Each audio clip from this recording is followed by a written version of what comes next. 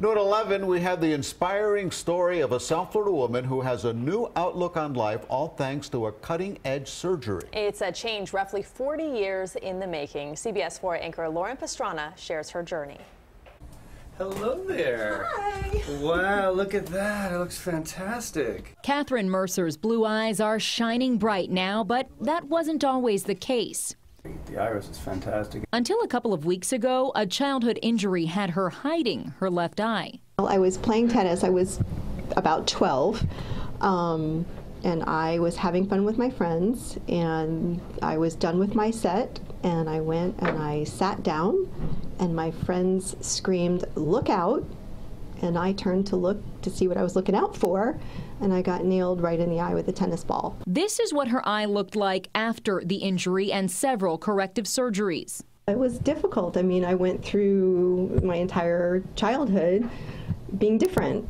She says she tried every contact lens on the market to try to disguise the damage, but nothing worked until now, thanks to an artificial iris transplant. It's amazing. If you look at it, it looks natural.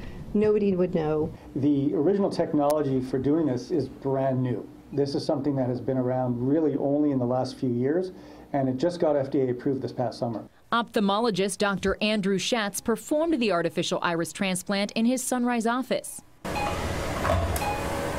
And he let our CBS 4 cameras take a peek inside. She is the first patient in Florida and one of the first in the entire country to get this implant.